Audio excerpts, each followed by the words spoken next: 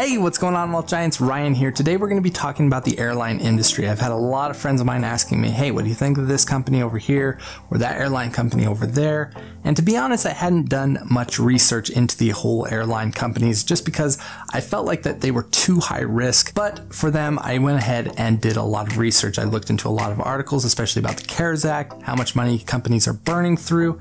I even looked into their financial statements and their balance sheets, mostly because their balance sheet, I want to know how much money that they have on hand and also how fast they're burning through that cash because I want to know how long that they could go without making money. I even got to talk to somebody who I know personally who works in the office buildings who's higher up that could share with me his personal opinions on which companies would be more likely to come out of this okay, which ones would be able to recover quicker, as well as just kind of get a feel for the airline industry as a whole. I'm also going to share with you guys the pros and cons that I personally see in the airline industry, as well as the investment strategy that I would use if I choose to invest in one of these companies that I've looked into. At the end of this video, I'm going to share with you all the information that I have collected so far on the airline industry, so stay tuned to that. But with that, let's go ahead and jump into the video. So the pros to investing in the airline industry are as followed. First, they are cheaply evaluated. They have lost over 50% or more of their market value year to date. The second thing is, is that they have big upside given a smooth and swift recovery. And then third, they are backed by the government, meaning that they cannot fail unless they refuse the government's help. Now, the cons to investing in the airline industry are as followed. First, they are not expected to achieve profitability until the year 2021. So not until next year. Second, they are burning through millions of dollars each and every day, some of them even up to $70 million a day. Third, the government, in order to receive a portion of the money from the CARES Act, they have to follow specific guidelines. For example, they cannot lay anyone off, which can hurt their revenue growth. Another thing that they cannot do is close down specific flight routes. All right. They have to keep them open even if they don't generate any revenue. On top of that, they have to follow social distancing guidelines. So that can damage their profitability when they sell out of flights. And number four, Warren Buffett, the greatest investor in the world, the Oracle of Omaha, just sold out of all four of his airline positions, meaning he took billions of dollars in losses. Now, I could come up with two reasons why he did this. First of all, in order for him to make back the money that he has lost, because he has lost over 50% or more in those positions, he would have to gain 100% or more to gain it back. Second of all, he can use it as a tax write-off. All that money that he has just lost, he can use it as a tax write-off on all of his gains in the future. So let's go ahead and get into the investment strategy portion of this. And remember, this is only my personal opinion. First, if you have $1,000 or less, I recommend not having a position greater than 5% of your portfolio. Now, if you have $10,000 or more, I recommend keeping it as little as 2% or lower and the reason for this is you want to have a risk management strategy. These are high risk stocks, therefore should be very, very small portions of your portfolio. If you have anywhere in between a thousand and ten thousand in your portfolio, keep it in between two and 5%. All right, so let's go ahead and jump into the analysis portion of the video, which is me looking at the 10 companies and comparing them through a cash is king kind of mentality. I want to look at how much money they have and will receive and compare it to the rate at which they are spending that money and kind of figure out where they are at comparatively and also look at a few other factors of their last Q1 earnings announcements.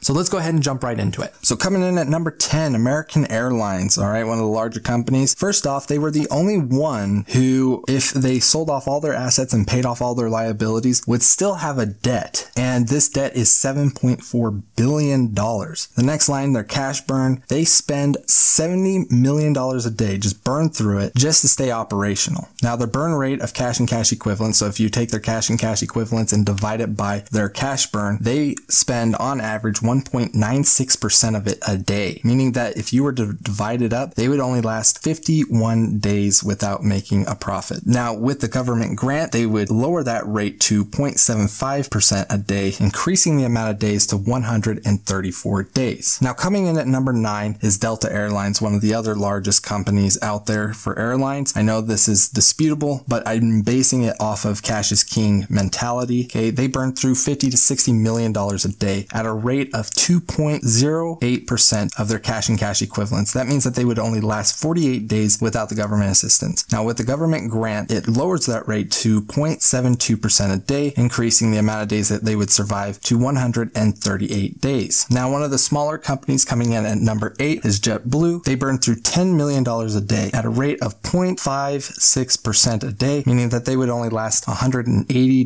days. Now with the government assisting them, it would lower that rate to 0.37% a day, increasing the amount of days to 274 days. Coming in at number seven. Now this one I was actually disappointed to report in number seven. I wish I could have given it a better position, but coming in at number seven, it is Spirit Airlines, one of the smaller companies. They burn through $4 million a day at a rate of 0.45% of their cash and cash equivalents a day. Okay. This will last them 224 days if they were not to receive assistance. With their assistance though, it lowers the rate to 0.33% a day, increasing the amount of days they could last to 306 days. Now coming in at number six, and this one is based off of worst case scenario. Back in March, they spent $15 million a day to stay operational. Since then, they have lowered labor costs by having voluntary layoffs. Now they are to qualify for the government assistance. They have to hire the, all those people back. So worst case scenario, $15 million a day. They burn off about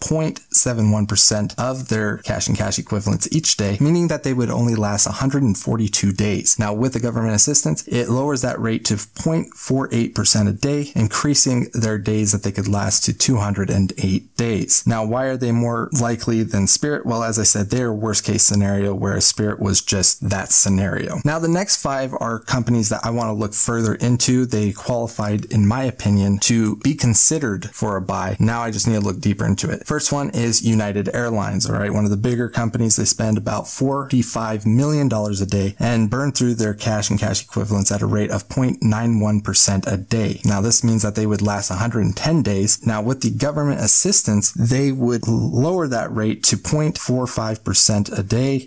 That means that they would last 221 days instead. Coming in at number four is Love. All right. Southwest Airlines, they burn through $35 million a day in cash. Okay. This is only 0.63% a day. That means that they could last 158 days. Now, with the government help, they would lower their rate to 0.4% a day, meaning that they could last 250 days without that loan. Now, the reason why it is above uh, United Airlines is because they have the highest amount of assets versus liabilities. Coming in at number three, you have Hawaiian Airlines. Okay, they burn through $4 million a day and they burn through their cash and cash equivalents at a rate of 0.49% a day, meaning that they could last 204 days. All right, now with the CARES Act, it lowers the rate to 0.27% a day. Okay, that means that they could last over a year without receiving any profitability. Now, they were also one of the two to report a positive cash flow in the first quarter earnings report. Coming in at number two is Allegiant, in my opinion. Now, remember, this is my opinion, and you can debate this down in the comment section down below, but Allegiant, in my opinion, is one of the ones to look at because they don't just branch out into the airline space, but they also branch out into the resorts as well. So that was very intriguing to me. They burn through 2.5 million a day and burn through their cash and cash equivalents at a rate of 0.55% a day, meaning that they could last 183 days. Okay, with the government assistance, that lowers the rate to 0.4% a day and increases them to 256 days till they are needing to become profitable. Now, also, they were one of the two companies that reported a positive earnings per share. Now, coming in in number one. Now, I was surprised when I found this out. The cash king of all of these companies is Sky West. They burn through $1 million a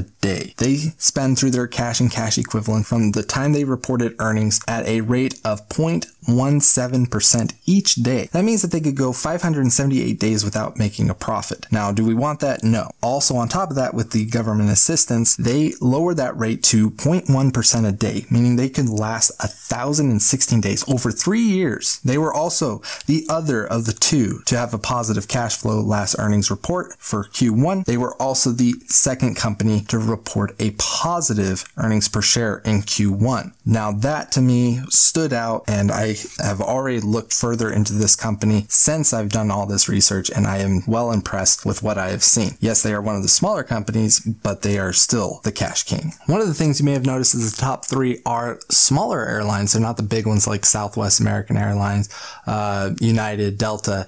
They are the smaller ones. And the reason why is because they catch less media attention. All right. They don't have the government running down their backs with social distancing laws. And on top of that, they don't have to be mandated to keep specific flight routes open. And the reason for this is because they don't do business class. They focus mostly on vacations. They don't do international, you know, things like that. And because of this, they are more flexible and able to become more profitable a lot sooner, cutting out all the inexpenses that they don't want to deal with and keeping the things that make them profitable. All right, so I know that was a lot to process. I hope you understood what I was trying to get at. The main thing I wanted to focus on was a cash king play.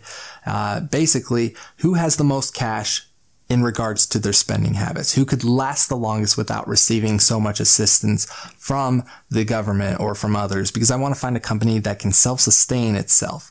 All right. And so that's why I chose the top five that I did is because I felt like they were the most cash heavy, but also better spending habits. All right. Now, as I said, the top five, I plan on doing a lot more research and probably coming out with more videos about those top five and what further I've found and if I may actually invest in some of them. So with that, guys, I hope you enjoyed this video. If you did, please consider smashing that like button for the YouTube algorithm. It helps people like yourself find my videos. Also, if you want to see more videos like this, please consider subscribing down below. All links to my resources are down in the description. So please check those out if you want to further your knowledge. And I will see you guys in the next video.